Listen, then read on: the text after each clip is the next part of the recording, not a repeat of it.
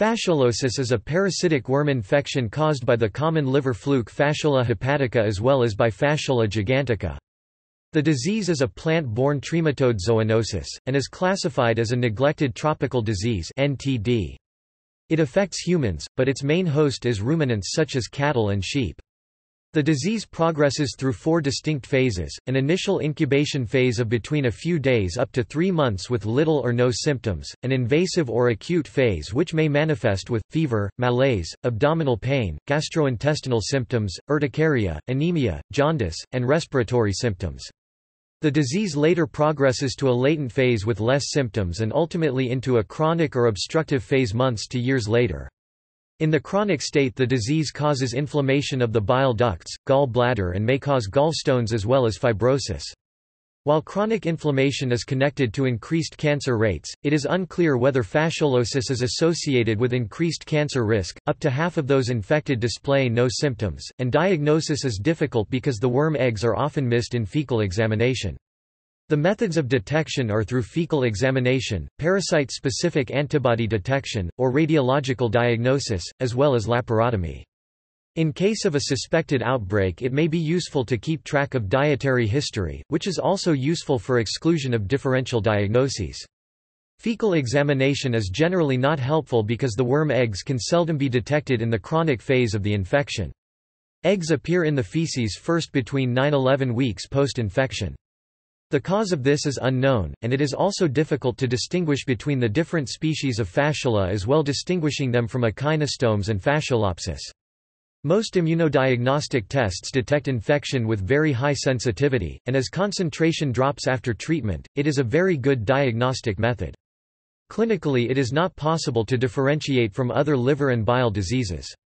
Radiological methods can detect lesions in both acute and chronic infection, while laparotomy will detect lesions and also occasionally eggs and live worms. Because of the size of the parasite, as adult F. hepatica, 20 to 30 times 13 mm (0.79 to 1.18 times 0.51 inches) or adult F. gigantica, 25 to 75 times 12 mm, fasciolosis is a big concern.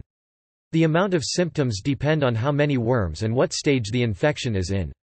The death rate is significant in both sheep and cattle, but generally low among humans. Treatment with triclabendazole has been highly effective against the adult worms as well as various developing stages. Praziquantel is not effective, and older drugs such as bithionol are moderately effective but also cause more side effects. Secondary bacterial infection causing cholangitis has also been a concern and can be treated with antibiotics, and toxemia may be treated with prednisolone. Humans are infected by eating water-grown plants, primarily wild-grown watercress in Europe or morning glory in Asia. Infection may also occur by drinking contaminated water with floating young fasciola or when using utensils washed with contaminated water. Cultivated plants do not spread the disease in the same capacity. Human infection is rare, even if the infection rate is high among animals. Especially high rates of human infection have been found in Bolivia, Peru and Egypt, and this may be due to consumption of certain foods. No vaccine is available to protect people against fasciola infection. Preventative measures are primarily treating and immunization of the livestock, which are required to host the life cycle of the worms. Veterinary vaccines are in development, and their use is being considered by a number of countries on account of the risk to human health and economic losses resulting from livestock infection. Other methods include using molluscicides to decrease the number of snails that act as vectors, but it is not practical. Educational methods to decrease consumption of wild watercress and other water plants has been shown to work in areas with a high disease burden. Fascioliasis occurs in Europe, Africa, the Americas as well as Oceania. Recently, worldwide losses in animal productivity due to fasciolosis were conservatively estimated at over $3.2 billion per annum. Fasciolosis is now recognized as an emerging human disease. The World Health Organization (WHO) has estimated that 2.4 million people are infected with fasciola and a further 180 million are at risk of infection.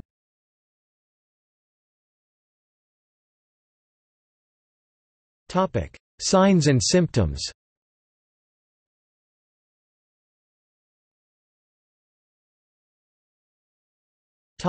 Humans The course of fasciolosis in humans has four main phases, incubation phase, from the ingestion of metacercariae to the appearance of the first symptoms, time period, few days to three months, depends on number of ingested metacercariae and immune status of host. Invasive or acute phase, fluke migration up to the bile ducts. This phase is a result of mechanical destruction of the hepatic tissue and the peritoneum by migrating juvenile flukes causing localized and or generalized toxic and allergic reactions. The major symptoms of this phase are Fever, usually the first symptom of the disease, 40 to 42 degrees Celsius, 104 to 108 degrees Fahrenheit. Abdominal pain, gastrointestinal disturbances, loss of appetite, flatulence, nausea, diarrhea, Urticaria Respiratory symptoms very rare, cough, dyspnea, chest pain, hemoptysis Hepatomegaly and splenomegaly Ascites Anemia Jaundice Latent phase – This phase can last for months or years. The proportion of asymptomatic subjects in this phase is unknown. They are often discovered during family screening after a patient is diagnosed. Chronic or obstructive phase – This phase may develop months or years after initial infection. Adult flukes in the bile ducts cause inflammation and hyperplasia of the epithelium. The resulting cholangitis and cholecystitis, combined with the large body of the flukes, are sufficient to cause mechanical obstruction of the biliary duct. In this phase, biliary colic, epigastric pain, fatty food intolerance, nausea, jaundice, pruritus, right upper quadrant abdominal tenderness, etc., are clinical manifestations indistinguishable from cholangitis, cholecystitis and cholelithiasis of other origins. Hepatic enlargement may be associated with an enlarged spleen or ascites.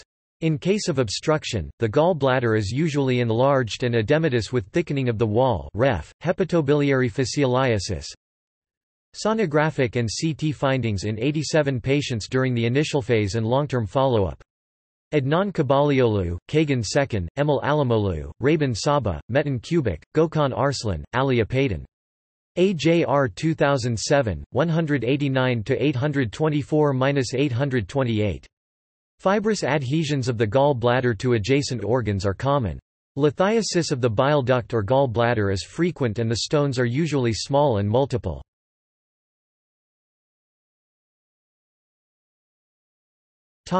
Other animals Clinical signs of fasciolosis are always closely associated with infectious dose amount of ingested metacercariae.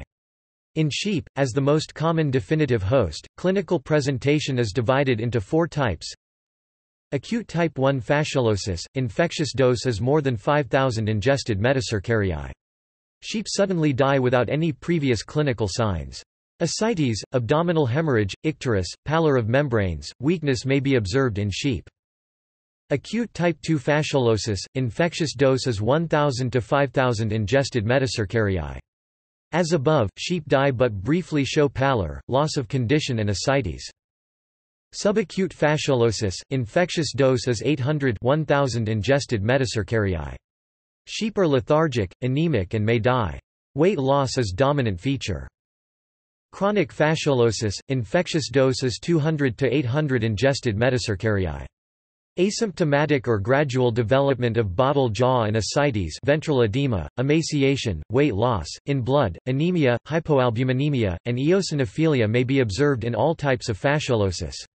Elevation of liver enzyme activities, such as glutamate dehydrogenase (GLDH), gamma-glutamyl transferase (GGT), and lactate dehydrogenase (LDH), is detected in subacute or chronic fasciolosis from 12 to 15 weeks after ingestion of metacercariae. Economical effect of fasciolosis in sheep consists in sudden deaths of animals as well as in reduction of weight gain and wool production. In goats and cattle, the clinical manifestation is similar to sheep. However, acquired resistance to F. hepatica infection is well known in adult cattle. Calves are susceptible to disease but in excess of 1,000 metacercariae are usually required to cause clinical fasciolosis. In this case the disease is similar to sheep and is characterized by weight loss, anemia, hypoalbuminemia and after infection with 10,000 metacercariae death. Importance of cattle Fasciolosis consist in economic losses caused by condemnation of livers at slaughter and production losses especially due to reduced weight gain. In sheep and sometimes cattle, the damaged liver tissue may become infected by the Clostridium bacteria C. novi type B. The bacteria will release toxins into the bloodstream resulting in what is known as black disease. There is no cure and death follows quickly. As C. novi is common in the environment, black disease is found wherever populations of liver flukes and sheep overlap.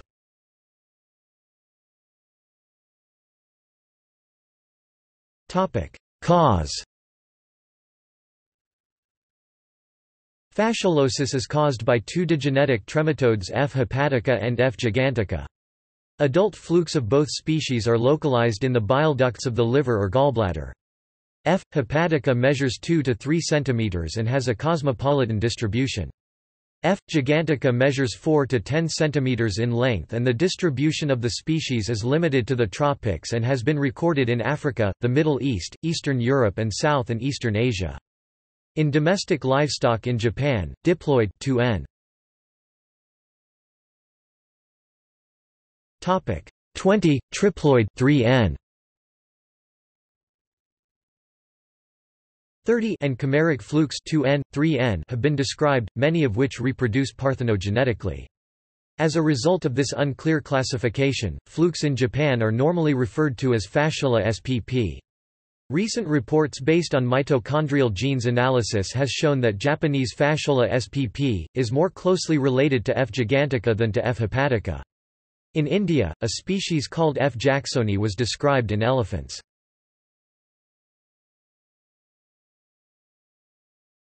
Topic: Transmission.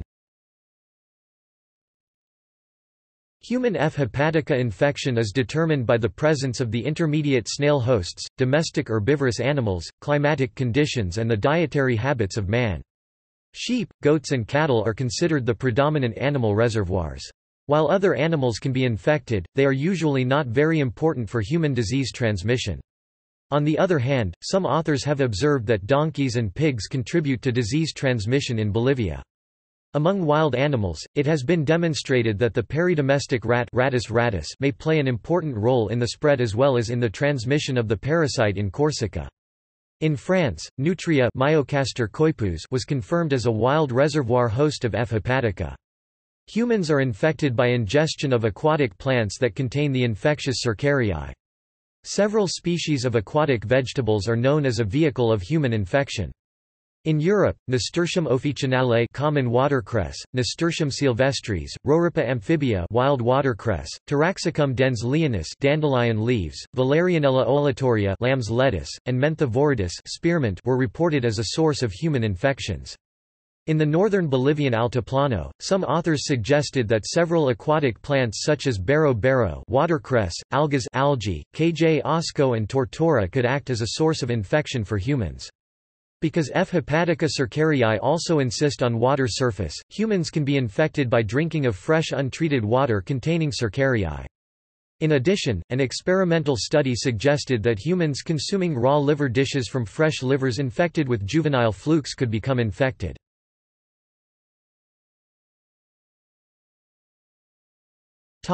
Intermediate hosts Intermediate hosts of F. hepatica are freshwater snails from family Lymnaeidae. Snails from family Planorbidae act as an intermediate host of F. hepatica very occasionally.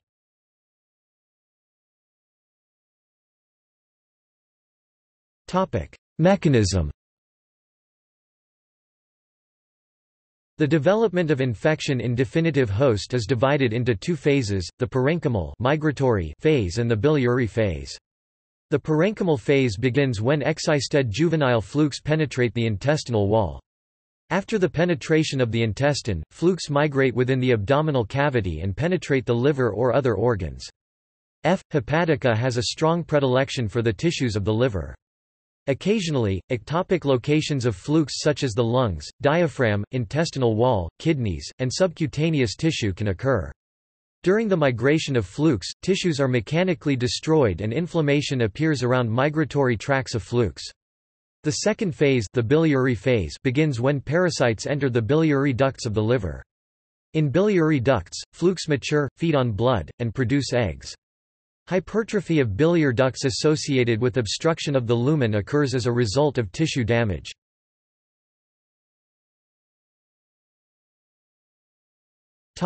Resistance to infection Mechanisms of resistance have been studied by several authors in different animal species. These studies may help to better understand the immune response to F. hepatica in host and are necessary in development of vaccine against the parasite. It has been established that cattle acquire resistance to challenge infection with F. hepatica and F. gigantica when they have been sensitized with primary patent or drug-abbreviated infection.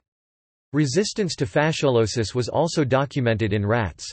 On the other hand, sheep and goats are not resistant to reinfection with F. hepatica. However, there is evidence that two sheep breeds, in particular Indonesian thin-tail sheep and red Maasai sheep, are resistant to F. gigantica. No reports concerning the resistance in humans are available.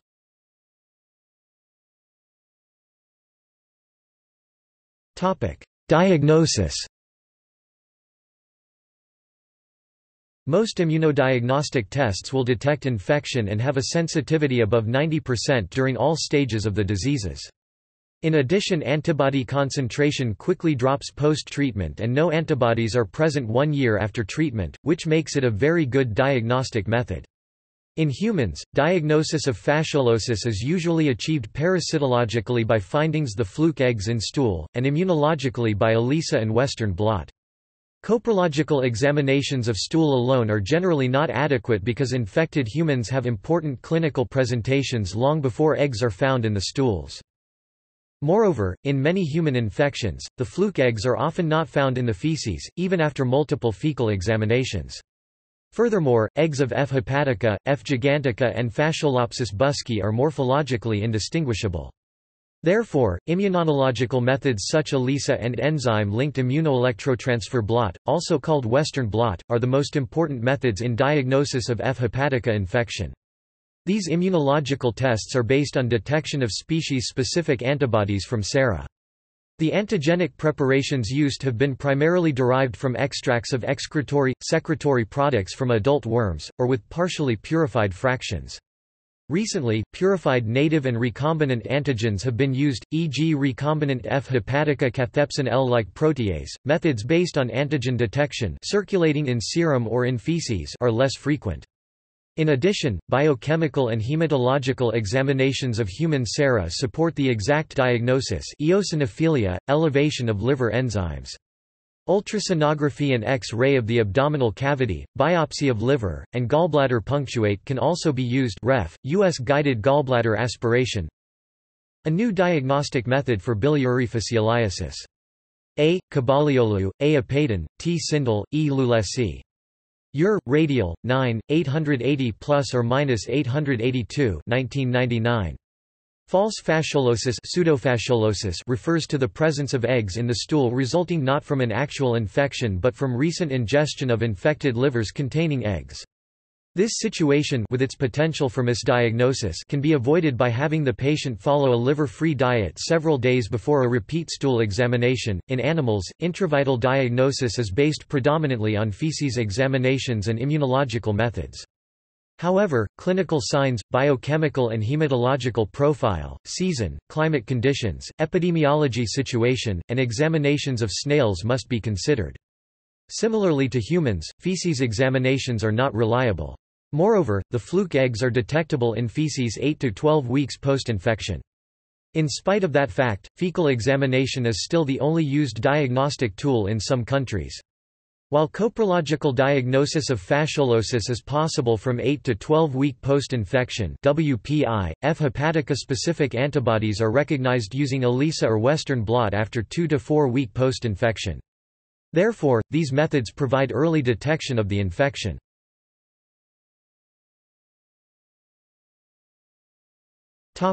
Prevention In some areas special control programs are in place or have been planned. The types of control measures depend on the setting such as epidemiologic, ecologic, and cultural factors. Strict control of the growth and sale of watercress and other edible water plants is important. Individual people can protect themselves by not eating raw watercress and other water plants, especially from endemic grazing areas. Travelers to areas with poor sanitation should avoid food and water that might be contaminated tainted. Vegetables grown in fields, that might have been irrigated with polluted water, should be thoroughly cooked, as should viscera from potentially infected animals.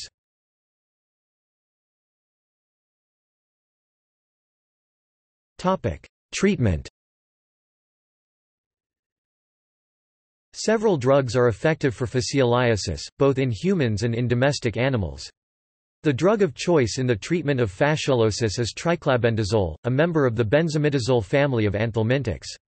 The drug works by preventing the polymerization of the molecule tubulin into the cytoskeletal structures, microtubules. Resistance of F. hepatica to triclabendazole has been recorded in Australia in 1995 and Ireland in 1998. Praziquantel treatment is ineffective. There are case reports of nitazoxanide being successfully used in human fasciolosis treatment in Mexico. There are also reports of bithionol being used successfully. Nitazoxanide has been found effective in trials, but is currently not recommended. The life cycle includes freshwater snails as an intermediate host of the parasite.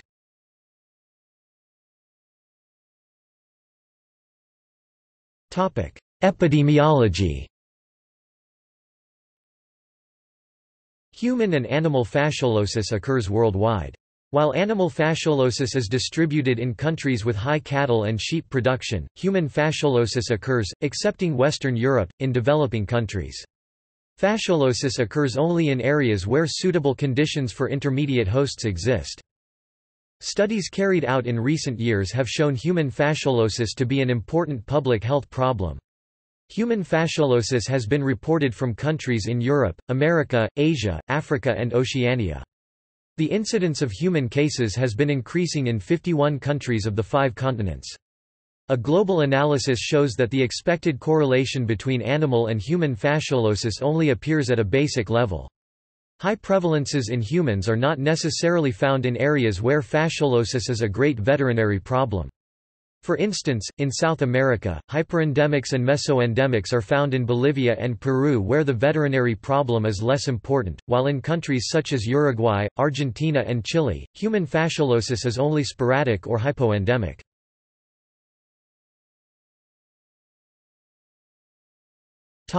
Europe In Europe, human fasciolosis occur mainly in France, Spain, Portugal, and the former USSR. France is considered an important human endemic area. A total of 5,863 cases of human fasciolosis were recorded from nine French hospitals from 1970 to 1982. Concerning the former Soviet Union, almost all reported cases were from the Tajik Republic. Several papers referred to human fasciolosis in Turkey. Recently, serological survey of human fasciolosis was performed in some parts of Turkey. The prevalence of the disease was serologically found to be 3.01% in Antalya province, and between 0.9 and 6.1% in Isparta province, Mediterranean region of Turkey. In other European countries, fasciolosis is sporadic and the occurrence of the disease is usually combined with traveling to endemic areas.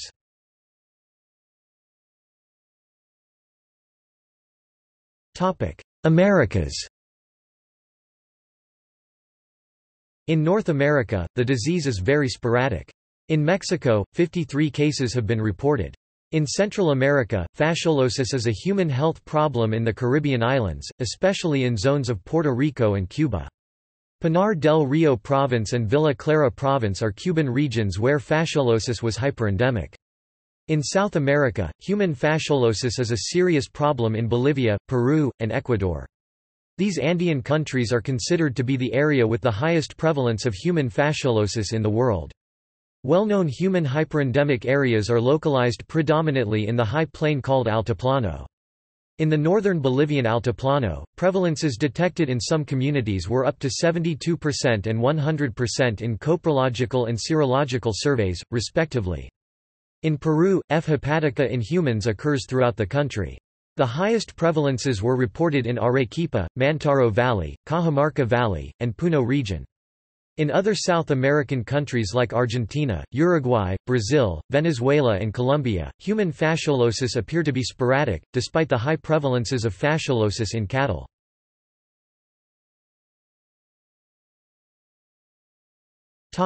Africa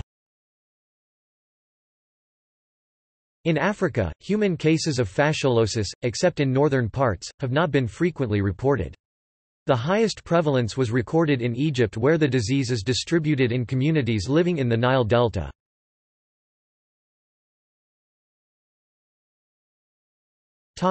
Asia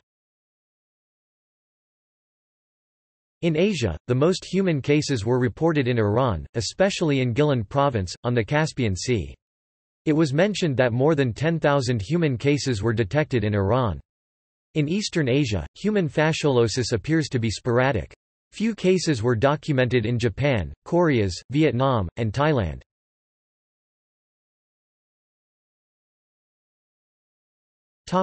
Australia and the Oceania In Australia, human fasciolosis is very rare only 12 cases documented. In New Zealand, F. hepatica has never been detected in humans.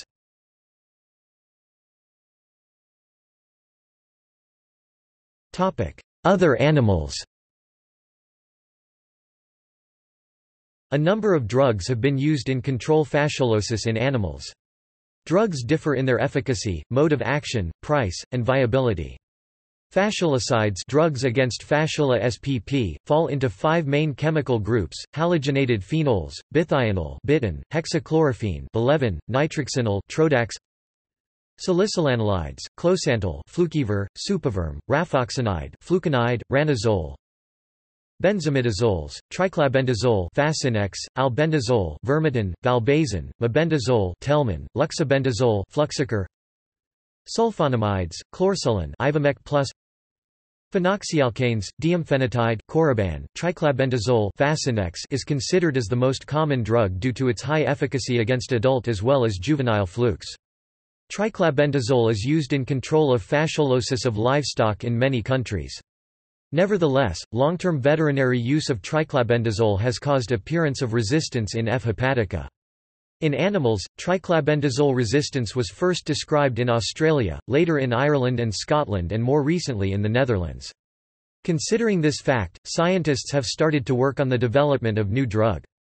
Recently, a new fasciolicide was successfully tested in naturally and experimentally infected cattle in Mexico.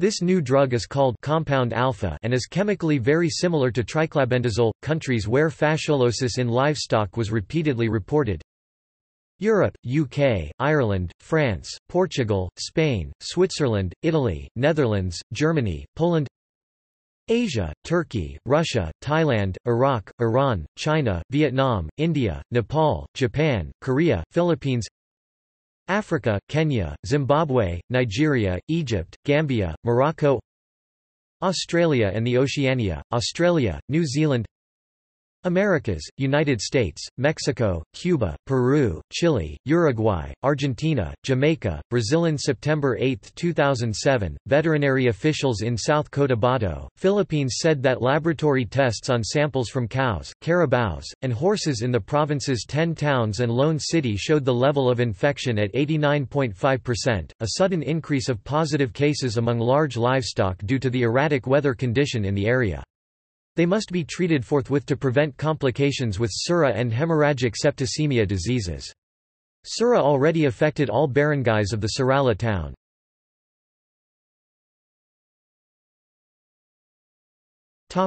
See also Fasciolopsiasis Clonorchiasis